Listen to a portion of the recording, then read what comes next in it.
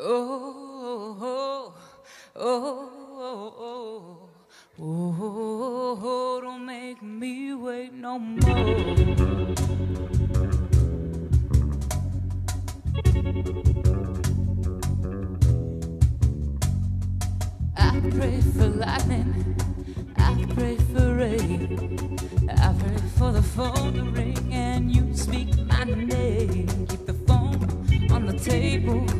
table by the bed. I keep the receiver right next to my head, receiver and a razor right next to my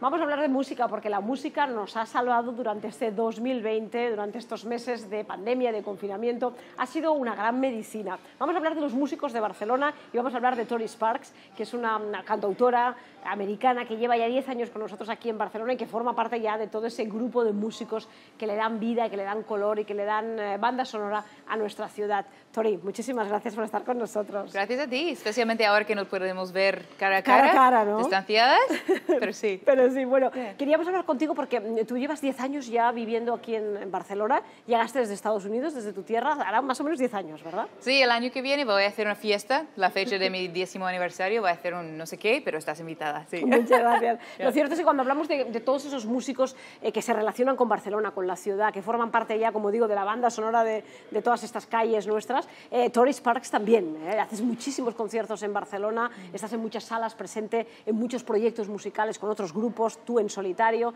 Eh, has hecho de Barcelona tu segundo hogar, al menos musicalmente hablando, ¿no? Sí, pero es algo que ah, la verdad es que si lo hubiera pensado más, es que no tiene nada de sentido cómo ha ido mi carrera aquí, pero así que soy a veces muy instintiva, dice, mira, voy a Barcelona.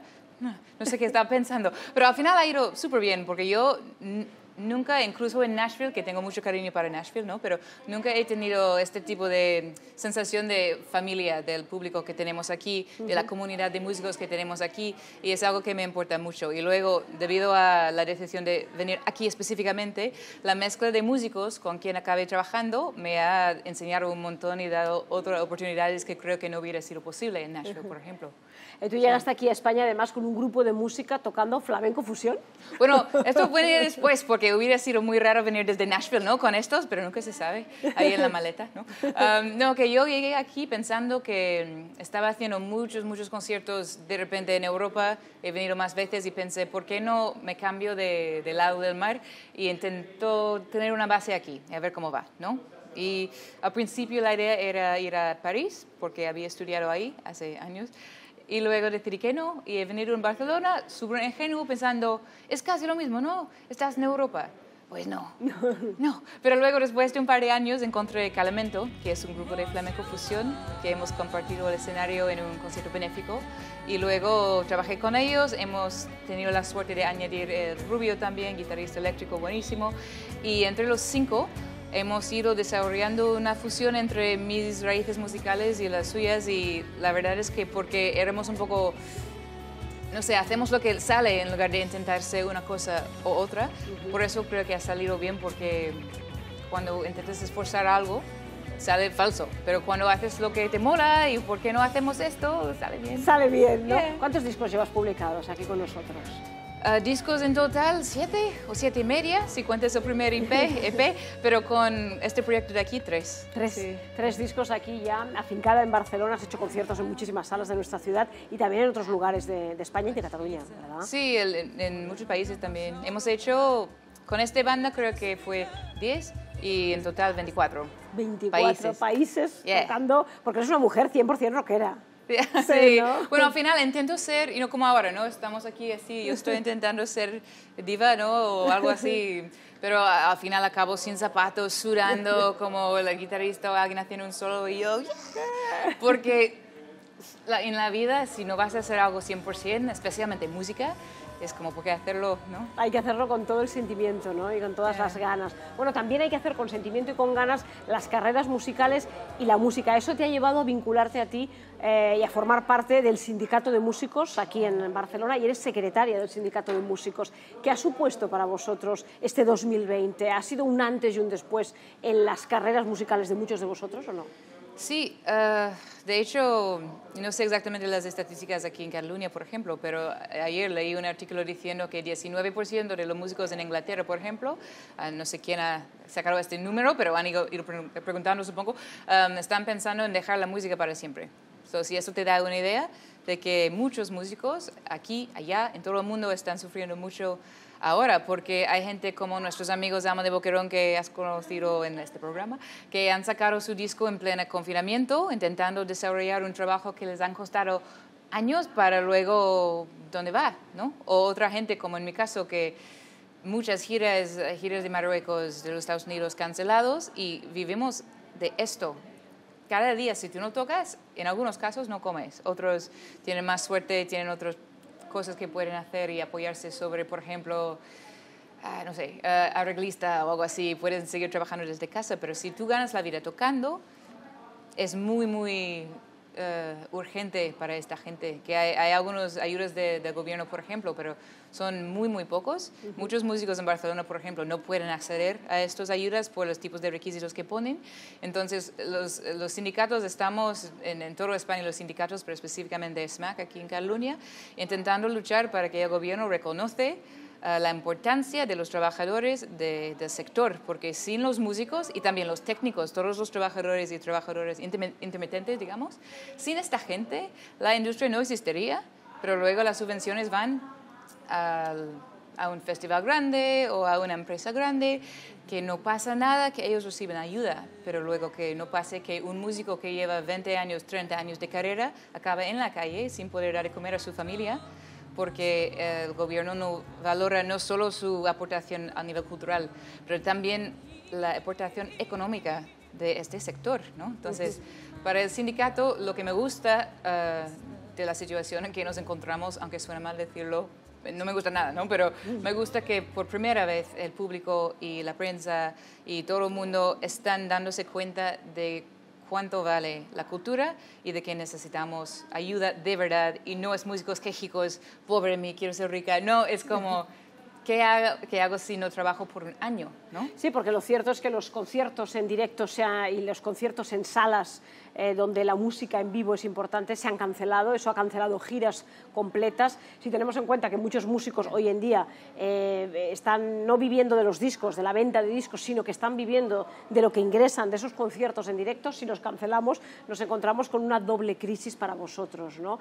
Eh, habéis sido además muy importantes durante la pandemia, esos meses, esos, esas semanas eh, fatídicas en las que todos hemos estado encerrados en casa, hemos visto como la música, los músicos eh, que teníamos todos en nuestro barrio, o sea, había alguno que vivía cerca de alguna plaza, habéis aportado alegría, entusiasmo, positividad, energía buena a, al vecindario, a los que teníais más cerca. Ha sido tu caso, fuiste una de las primeras y casi pionera sí. en esto de, de, salir espontáneamente a los balcones a, a, con la música, sanar un poco ¿no? a, los demás. Pues creo que es, los músicos, si alguien, hay gente que han empezado en la música para llegar a ser famosos, ¿no? pero la mayoría no. La mayoría hemos empezado porque es una vocación que es nuestra vida, es, no es un hobby, es, tú eres músico, si ganas la vida con ello o no, no. Entonces, los que han luchado para ser músico profesional, es porque es lo que haces. Entonces, cuando tienes que enfrentarte con un momento de crisis, la respuesta es con música, porque música tiene el poder de,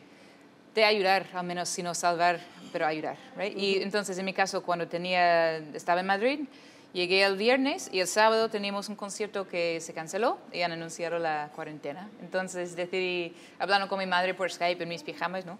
Uh -huh. Estaba como, ah, es que estoy tan cansada, la industria de la música siempre es así, porque no, no, no sabíamos que qué grande fue el problema de sanitario. No sabíamos si íbamos a estar ¿no? una semana, dos o dos meses. Yeah. So. La reacción primero es, oh, es que estoy harta de cosas que pasan en la industria de la música, porque esto es, sí, siempre. Y, en, pero entonces, hablando con ella, decidí, mira, pero si estamos así, que parece que no es un problema grande, que nadie sabe lo que va a pasar, que hay gente muy enferma, que hay gente encerrada en casa, asustada, ¿qué vamos a hacer?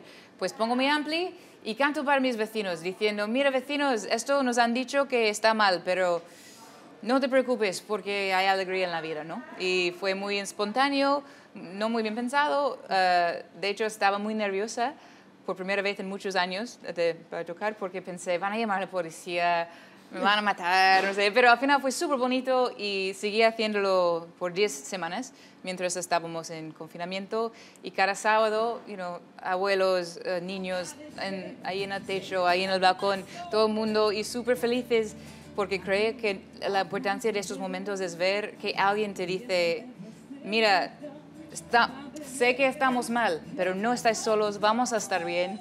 Y les daba algo. Y a mí me daba algo también. Y me sentí muy acogida por mi barrio y son, son fantásticos. En tu gente. barrio de Horta ya eres más conocida ahora, mucho más, Yeah. por- porque pusiste música a todas esas semanas de silencio, de preocupación, ¿verdad? Y de enfermedad que hemos estado padeciendo. Bueno, poco a poco vamos remontando, parece ser, esperemos que sí, que, que vayan mejorando las semanas que vienen a- eh, adelante.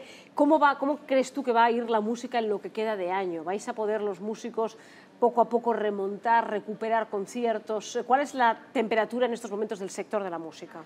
Bueno, la cosa que pasa es que primero fue algunos conciertos se cancelaron, luego es hasta 2021. Hay muchos que dicen lo aplazamos, ¿no? Pero si, apla- si aplazas el trabajo de alguien por un año es un problema. Y han dicho no habrá ningún concierto. Luego están recuperando un par en sitios en aire libre, por ejemplo, tenemos como, pero tenemos como cuatro conciertos este verano. Y el hecho de que se va recuperando, para algunos piensan que significa que está, está recuperando y ganando a ser mejor, pero, pero no, porque al final son bajo condiciones muy limitadas, hay mucha gente que no saben. Ayer me acaban de cancelar las fiestas de Horta en Plaza Ibiza, más que nada porque la organización no entiende bien si pueden, si, qué pasa, no sé qué, entonces porque las normativas tampoco son tan claras. Entonces todo está bastante, bastante mal, por así decirlo, solo que hay un par de conciertos, me alegro mucho, me encanta tocar, pero para recuperar de verdad, para estar seguro que no perdemos músicos profesionales que simplemente no pueden comer si no tocan, tendremos, el gobierno tiene que hacer algo, tendremos que replantear algo. En mi caso he tenido la gran suerte de, después de los conciertos en el balcón, hacer algunos conciertos ah, en streaming con la banda en un local cerrado, pidiendo a la gente que hagan portaciones por internet. Y lo han hecho, han respondido súper bien, pero estos modelos no, no nos van a Sí. sostener. No sirven para muchos meses, ¿no? Hay un disco solidario, eso sí, Sí. ¿verdad? Hay un nuevo disco solidario que lo traías hoy contigo y nos, has, eh, nos quieres también hablar de él, porque los músicos si algo tenéis es que en estos momentos hacéis piña y lanzáis discos eh, solidarios que aportan algo a la causa y al momento que nos ha tocado vivir, ¿no? Sí, mira, te lo muestro. Sí, cógelo por aquí. Oh, es que por suerte hago yoga. Ok, so este, ¿vale? Es que lo traí porque estoy muy orgullosa de Porque esto, aunque parece como, mira, un disco, es que, guau, cuánto trabajo. No sé por qué me meto en tantos líos, pero esto se llama Amor en los tiempos de cuarentena. Y luego aquí se ve las bandas, que son 10 bandas de Barcelona o que viven en Barcelona como yo. Y son, mira, para no olvidar a nadie, Luz Verde, Los Mambo Jambo, A Contra Blues, Ama de Boquerón, The Penguins, Che Sudaca, Ramón Aragay, Clarence Becker, Reinhard Colom y yo. Y esto es jazz experimental, rumba, blues, um, ska, todo. Y lo que quería es no solo animar a los músicos para que tengamos algo que hacer en estos días, ¿no? pero para dar al público una oportunidad de apoyar a estos músicos que estaban haciendo conciertos gratis en streaming o en el balcón por meses y meses. Bueno, tres meses. Para mí es como meses y meses ya. Pero, Muy largo, ¿no? Se ha hecho larguísimo. Sí, y esto es, la idea es que, porque mucha gente me han dicho, ¿qué podemos hacer para ayudarte, no? Podemos mandarte dinero, compra un disco, ¿no? Si, si quieres ayudar a los músicos. Pero pensé, ¿por qué no hacemos una cosa que, de hecho lo pone en la contraportada, apoyamos a los músicos, apoyamos a la música, porque así la gente se siente, yo estoy ayudando a la cultura, y yo estoy apoyando a estas bandas, y también nuestros públicos se van descubriendo a las demás bandas. Y si nosotros trabajamos juntos para promocionar la cultura y para dar un poco de visibilidad a la situación de los músicos, los técnicos, los actores, esta gente, quizás el público responderá y lo han hecho. Y me siento muy agradecida por la respuesta que había y muy orgullosa de, de todos que son parte de esto, de verdad. ¿Cómo podemos comprarlo? Bueno, de hecho, bueno, traigo uno para vosotros, pero de, de hecho esto era como la- el truco eh, de esto, que dije, era un crowdfunding, pero dije que si no aportas algo al crowdfunding, que lo siento que no estará disponible. Entonces, I mean, si alguien es like, desesperado y no puede sin, tengo como cinco copias extra en casa, ¿ok? Entonces escríbeme. Pero no, era la gente que han aportado algo al, al proyecto, han recibido su Han copia. recibido su copia, ¿no? Y, está, y lo era, lo, fue a propósito para que la gente valoraba el proyecto, ¿no? Para que sea algo especial de verdad. Y para mí fue muy bonito ver eh, la gente que, por ejemplo, puse, por, si pagas más puedes patrocinar un tema, ¿no? Esos tipos de cosas y tu nombre sale ahí. Y pensé, bueno, vamos a tener a mi madre, mi abuela. Pero no, I mean, la gente, cuando a veces no te das cuenta de cuánto valoran la música, el público, porque estás como cínica ya, y, pero luego te das cuenta, te da, me estaba llorando like, de just emoción algún día de, la respuesta que había. Y esto sí que fue bonito de la pandemia, ¿no? Que nos damos cuenta de que las cosas importantes en la vida, de cuánto nos importa nuestro trabajo, de cuánto nos importan nuestros amigos, nuestra familia, esto va menos. Tienes una página web donde podamos ver tu discografía, seguirte, ir viendo cómo eh, a través de tu página web o de algún un Facebook donde podamos localizarte y seguirte. Sí, porque los músicos hoy en día nuestro trabajo no es tocar, es Facebook, básicamente.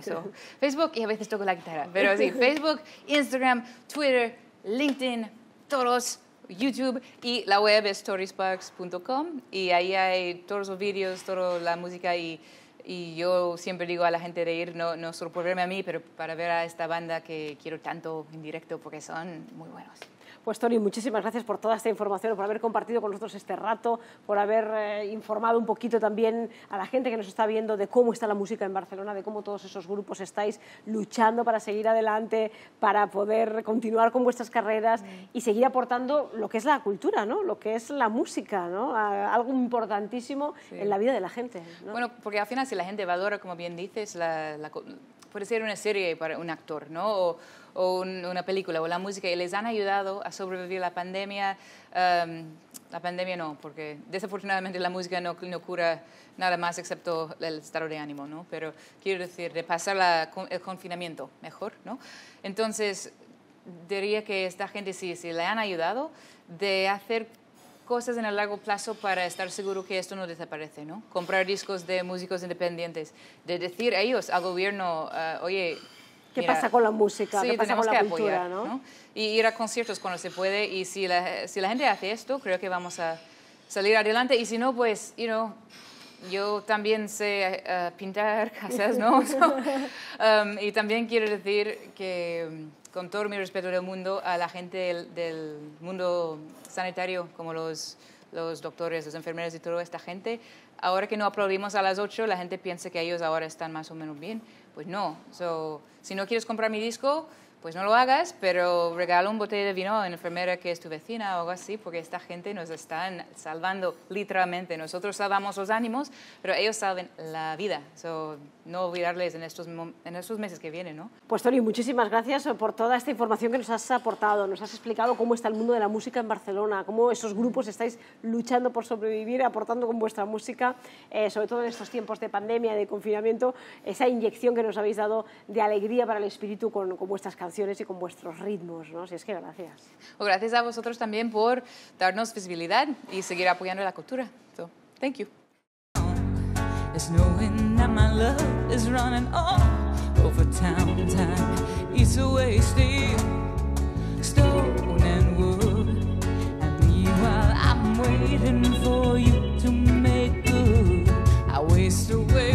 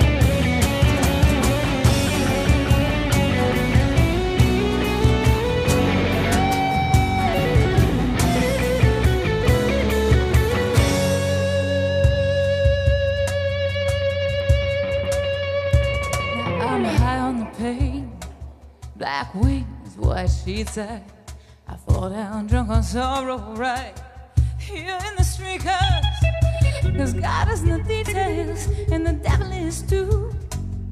And both are at the gates of hell, calling for you. I am at the gates of hell, screaming.